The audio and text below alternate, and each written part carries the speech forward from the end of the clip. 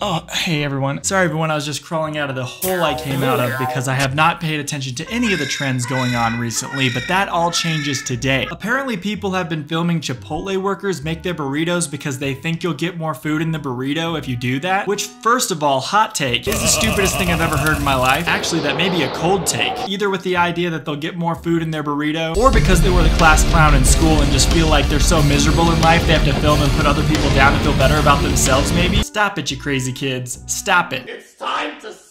So today I want to take a look into this trend and I want to see how bad it really is. Because there's nothing that pisses me off more than food service workers getting disrespected. Let's jump into it. Apparently, if you film while ordering at Chipotle, they'll give you more food. So I'm gonna put that to the test. Hi, thank you. I feel like they're avoiding me right now. So Eric is one of the first guys who did this trend and he went in there to test it himself. And this is a big problem when big YouTubers start trends like this. Because regardless of what his intentions were, you have millions of fans who are then going to try to follow you and start doing this as well. And he didn't just walk in with a phone, he walked in with an entire camera crew. And then he's like, oh no, I think they're avoiding me. Oh no, you think? You think they're avoiding you? Just a burrito, please. Uh, let's do brown rice, pinto beans. Thank you so much. Chicken. Red sauce, cheese, lettuce.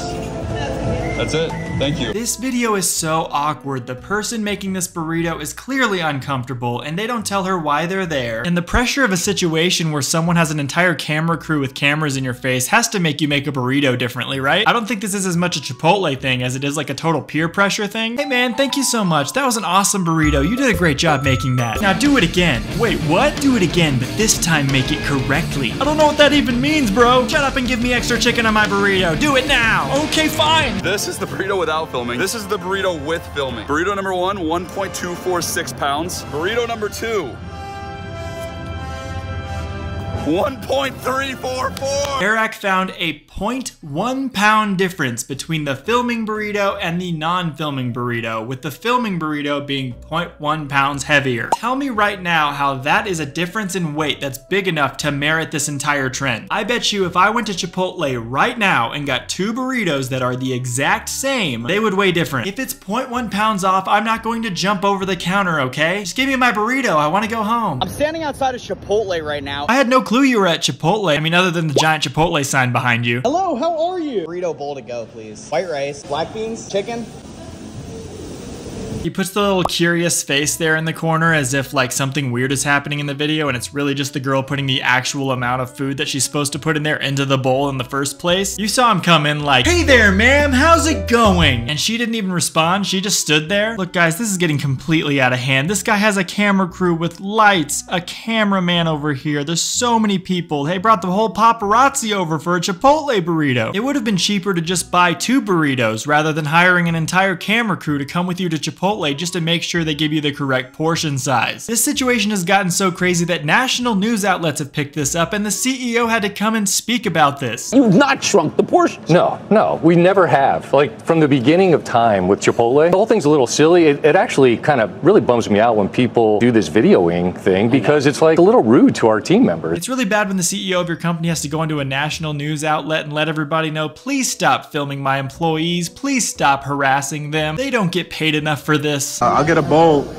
Yeah, uh, prefer for, to go. Why is this guy so close to this man's face? His camera is literally in this guy's face. He is leaning across the counter. Hey, yo, how's it going today? I'd like a burrito. First of all, that was not a proper portion size. Secondly, I need to zoom in here so I can get a better shot. I think I'm gonna go with barbacoa today. I'll get white rice with that. White rice, black or pinto beans? Uh, we'll do pinto beans with that. Protein for you? Uh, we'll do uh, chicken, please. Chicken. Any queso Uh for you? uh uh. We need some old chicken in that. Chicken? Finna fire on your ass. Put that chicken in there. But yeah, no, this guy's being super disrespectful to the whole staff. You can see this guy's very uncomfortable who's making the food for him. Uh, we need some uh, veggies. Get some green veggies. Yep, little bit more, a little bit more. No problem. Little bit more. People are going to find out very quickly who are doing this trend that when you're not nice to people in the food service industry, things don't go well for you. Have any of you ever seen the movie called Waiting? If you have, you know what I'm talking about, and if you haven't, you should probably check it out. I have a feeling that people go into the Chipotle's trying to get more food doing this stupid thing. They're probably just gonna end up getting smaller portion sizes than everyone else because all the Chipotle workers have caught on to this. It's Oh, they gonna have to hold me accountable. And if you got problems, I'll fire your ass up. Hold.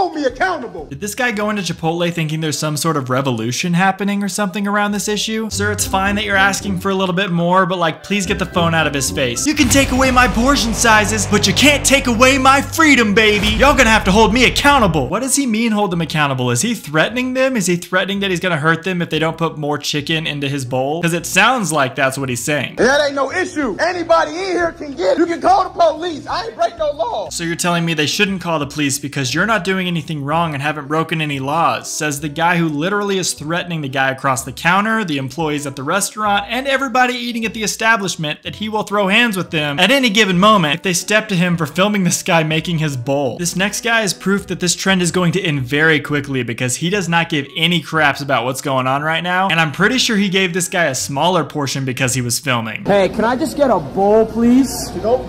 Uh, for here. Here, what kind of rice? Can I just do white rice? Yeah. Oh, that's that's some good portions. Uh, can I just do some chicken? Chicken.